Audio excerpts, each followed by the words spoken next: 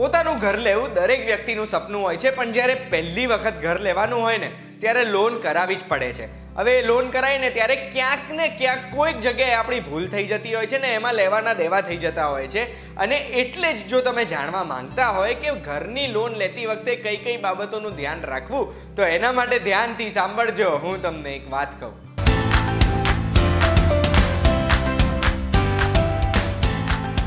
એક વાત કહું આપનું સ્વાગત છે. મારું નામ છે ગુંજ ઠક્કર.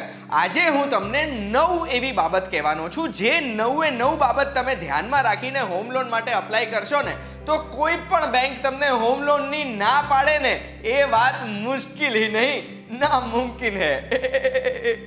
સૌથી પહેલી વાત જે આપણે ધ્યાનમાં રાખવાની છે ને, એ છે ડાઉન પેમેન્ટ આપણે જ્યારે હોમ લોન માટે અપ્લાય કરીને તો પ્રોપર્ટીની કિંમત હોય, એ કિંમતના દસથી લઈને ત્રીસ ટકા સુધી આપણે ડાઉન પેમેન્ટ મૂકવી પડતી હોય છે.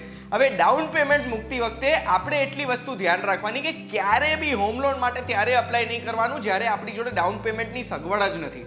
ડાઉન પેમેન્ટની સગવડ હોય ત્યારે જ અપ્લાય કરવાનું અને ડાઉન પેમેન્ટ ક્યારે બીજે ક્યાંયથી પર્સનલ લોન કે ગોલ્ડ લોન લેવાનું ક્યારે પ્રિફર નહીં કરવાનું, કારણ કે એક બાજુ તમારે હોમ લોન લેવી છે, બીજી બાજુ ડાઉન પેમેન્ટ માટે લોન લેશો તો મહિનાના ઈએમઆઈ ભરશો કે પછી તમે પૈસાની બચત કરશો કે ઘર ચલાવશો? ડાઉન પેમેન્ટના પૈસા ભેગા કરવા માટે કમ્પાઉન્ડિંગ એટલે ચક્રવૃત્તિ વ્યાજને ધ્યાનમાં રાખીને વહેલેથી સેવિંગ કરવાનું ચાલુ કરી દેવાનું કે તમારી મૂડી પર વ્યાજ કમાઓ, વ્યાજ પર પણ તમે વ્યાજ કમાઓ. એ રીતનું વહેલેથી પ્લાનિંગ કરશો ને તમે તો ડાઉન પેમેન્ટ માટે તમારે આમ તેમ આટા નહીં મારવા પડે. લોન લેતી વખતે બીજી વસ્તુનું જે ધ્યાન રાખવાનું છે ને, એ છે લીગાલિટી ઓફ યોર પ્રોપર્ટી એટલે તમે જે જગ્યા માટે લોન લો છો, માની લો એને બીયુ પરમિશન નથી મળી કે એનેની પરમિશન નથી મળી, એ પહેલાં તમે લોન લઈ લીધી. અને કોઈ પણ કાયદાકીય જંજાળમાં એ પ્રોપર્ટી ફસાઈ જાય છે, તો એક બાજુ તમારે લોનના હપ્તા પણ ચાલુ થઈ જશે અને બીજી બાજુ તમે અત્યારે જ્યાં રહો છો ત્યાંનું ભાડું તો ચાલુ જ છે. તમારે ડબલ ખર્ચો આવશે અને નવી પ્રોપર્ટી તમે એન્જોય પણ નહીં કરી શકો.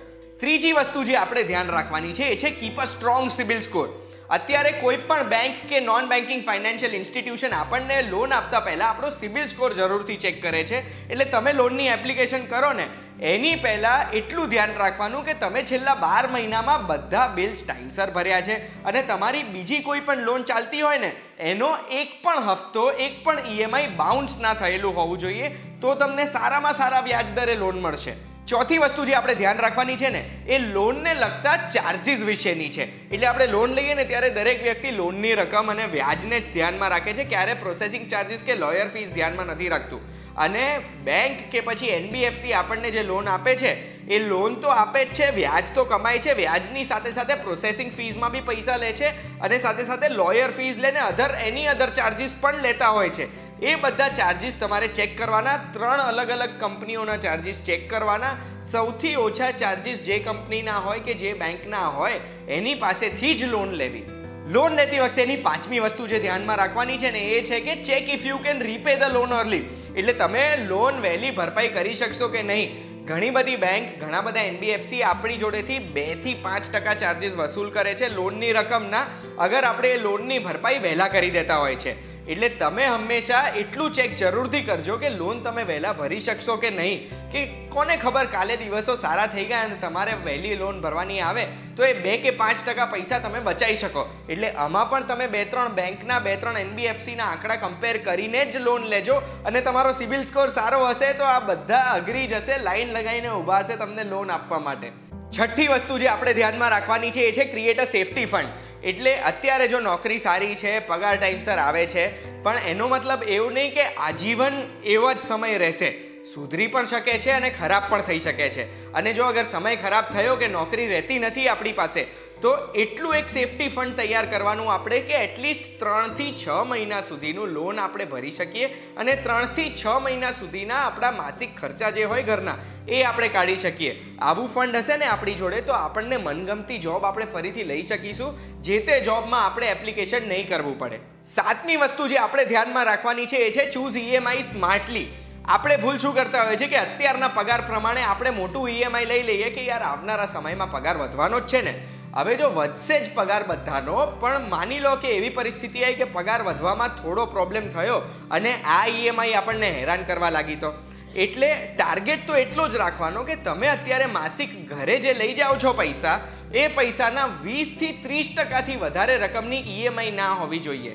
એવું હશે ને તો તમે બચત બી કરી શકશો, તમે ખુલીને પૈસા અત્યારે બી વાપરી શકશો ફ્યુચર બી સિક્યોર કરી શકશો અને ઈએમઆઈ પણ ટાઈમથી ભરી શકશો, જેનાથી તમારા સિબિલ સ્કોરને પણ કોઈ ફરક નહીં પડે.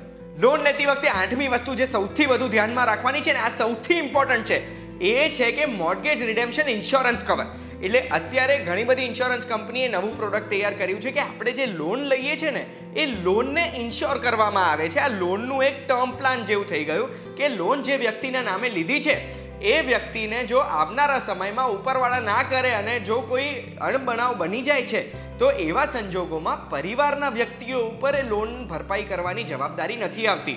ઇન્સ્યોરન્સ જો આપણે લીધેલું હોય છે, આવું લોનનું ઇન્સ્યોરન્સ તો અગર જો લોન જેના નામે લીધી છે, એ વ્યક્તિને કંઈ પણ થઈ જાય છે, તો ઇન્સ્યોરન્સ કંપની લોનની પૂરેપૂરી રકમની ભરપાઈ કરી દે છે અને પરિવારજનો બોજામુક્ત રહી શકે છે. આ ઇન્સ્યોરન્સનું પ્રીમિયમ થોડું મોંઘું હોય છે, પણ જો સ્ટાર્ટિંગમાં તમે જે ફીઝ અને ચાર્જીસમાં થોડું ધ્યાન દીધું હશે ને, એમાં પૈસા બચાયા હશે, તો તમને આ ઇન્સ્યોરન્સ પ્રીમિયમ નડશે નહીં. નવમી અને છેલ્લી વસ્તુ જે આપણે ધ્યાનમાં રાખવાની છે ને, એ વ્યાજદર છે. કે આપણે ફિક્સ્ડ વ્યાજદરવાળી લોન લઈએ છીએ કે ફ્લોટિંગ વ્યાજદરવાળી લઈએ છીએ. એટલે અત્યારે શું છે, દર વર્ષે આરબીઆઈ પોતાનો વ્યાજદર ઉપર નીચે કરતું હોય છે, જે બેંક જોડેથી વસૂલતી હોય છે, અને બેંક એ પ્રમાણે પોતાનું વ્યાજદર નક્કી કરતી હોય છે. હવે જો આપણે ફિક્સ્ડ વ્યાજ દર ઉપર આગળ લોન કરી છે તો એ આપણે આજીવન એ જ વ્યાજ ભરપાઈ કરવાની હોય છે. ફ્લોટિંગ વ્યાજ દર પર બજાર પ્રમાણે આપણું વ્યાજ નક્કી થતું હોય છે. એટલે આમાં તો ગણિત એવું જ છે કે જો અગર શોર્ટ ટર્મની લોન છે, ઓછા સમયની લોન તો એ ફિક્સ વ્યાજ દર તમે લો છો તો વાંધો નથી. પણ જો લાંબા ગાળાની લોન છે, પંદર વર્ષ, વીસ વર્ષ કે ત્રીસ વર્ષની, તો એમાં ફ્લોટિંગ વ્યાજ દર લેશો ને તો તમને સૌથી વધુ ફાયદો રહેશે. આશા રાખું છું આ નવે નવ પોઈન્ટને તમે ધ્યાનમાં રાખશો અને આ નવે નવ પોઈન્ટને ધ્યાનમાં રાખીને હોમ લોન માટે એપ્લિકેશન કરશો ને, તો તમારા બે પૈસા બચશે પણ ખરા, હોમ લોન માટે કોઈ તમને ના પણ નહીં પાડી શકે અને લોનની ભરપાઈ ફટાફટ તમે કરી શકશો. અમારી વાત તમને ગમે છે અને આ ગણિત જો તમારા મગજમાં ઉતર્યું છે, તો એકલા ના ઉતારતા આ બધા જોડે શેર કરજો લાઈક કમેન્ટ શેર સબસ્ક્રાઇબ બધું જ કરજો અને બધા જ ન્યૂઝ માટે વીટીવી ગુજરાતી ડોટ કોમ જોતા રહેજો.